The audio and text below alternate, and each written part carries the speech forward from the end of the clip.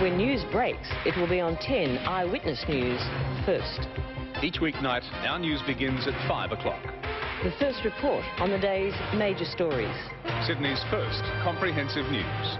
And with Hinch at 6, we'll be first with current affairs. Channel 10, first in news and current affairs.